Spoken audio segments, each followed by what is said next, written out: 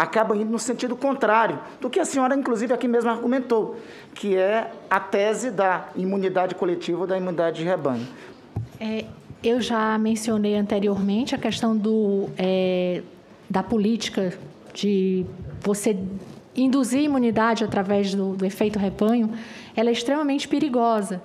Para grandes populações, você não sabe quantas pessoas vão precisar ser submetidas a esse tipo de, de teoria e ela pode induzir a milhares de óbitos. Então, eu não concordo com isso. Muito...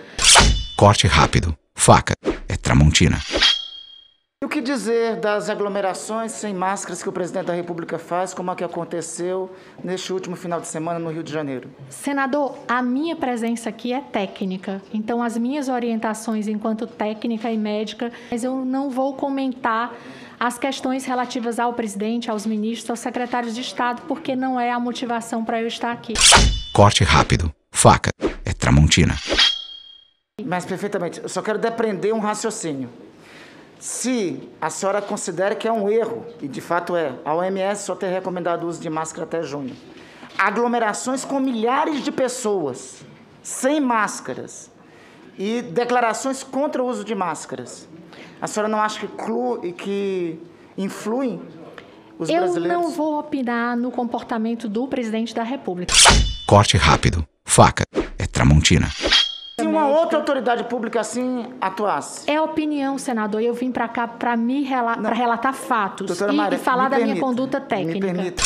Corte rápido. Faca. É Tramontina. Respeitosamente, doutora Maria. Opinião. É, a senhora torcer para o Ceará, eu torcer para o Flamengo. Usar máscara ou não, me parece que não é opinião. Mas é a minha, eu já disse para o senhor. Corte rápido. Faca. É Tramontina. Só tem conhecimento de vossa declaração é, sobre a Fiocruz? Sim. Posso colocar aqui? Pode. A Fiocruz é um órgão ligado ao Ministério da Saúde, que é mantida com recursos do Ministério da Saúde e trabalha contra todas as políticas é, que são contrárias à pauta deles de minorias. Tudo deles envolve LGBTI, eles têm um pênis na porta da Fiocruz, todos os tapetes das portas são a figura do Che Guevara, as salas são figurinhas do Lula livre, Marielle vive, então é um órgão que tem um poder imenso, porque durante anos eles controla, controlaram a... A senhora pensa a mesma coisa ainda da Fiocruz? Esse áudio é, foi uma resposta a um colega, não foi agora, enquanto estou secretária de governo, e houve um vazamento. Nessa época, isso era constatação, senador, de fatos. Corte rápido. Faca. É Tramontina. A senhora então reafirma isso? Sim, não, isso é uma constatação eu de acho, fatos. Eu acho isso. Corte rápido. Faca. É Tramontina.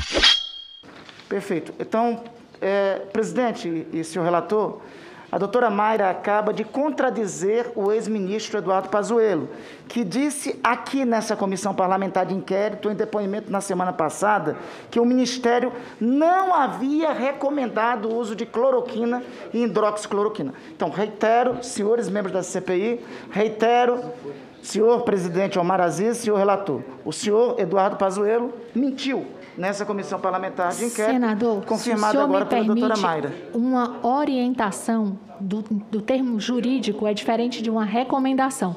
Uma recomendação tem um peso mais forte, é por definição. Corte rápido. Faca. É Tramontina. É, a senhora declinou aqui que foi uma honra ter participado da missão de Manaus. Reitera? Sim. Por que a senhora utilizou-se de habeas corpus, então, para falar sobre o Amazonas aqui? Eu estou falando, respondendo a tudo que me foi perguntado. A, uma, a questão do habeas corpus, senador, foi para pedir o respeito, porque eu assisti da minha casa os depoimentos anteriores e eu vi depoimentos aqui em que os depoentes, que são simples testemunhas, foram tratados como réis, como réus. Então, assim, pedi a proteção porque achei indigno o tratamento que eles receberam aqui. Pois é, mas a senhora está sendo destratada? Não, Algum... mas o senhor me fez uma pergunta. Corte rápido. Faca. É Tramontina. Então, quer dizer que em mais de um ano de pandemia, muitíssimo obrigado, doutora Maria, pela informação. Eu acho que contribui muito com o relator Renan Calheiros. Em mais de um ano de pandemia, o presidente da República fez somente uma visita ao Ministério da Saúde? Não, senador. É, Somente é que eu uma participei, que eu participei. a senhora acabou de dizer que foi uma visita. Não, que então, fez. que o senhor perguntou que eu tenha participado. Corte rápido. Faca Tramontina. Sua Excelência, o Presidente da República, usou cadeia de rádio e televisão e disse que tudo não passava de uma gripezinha.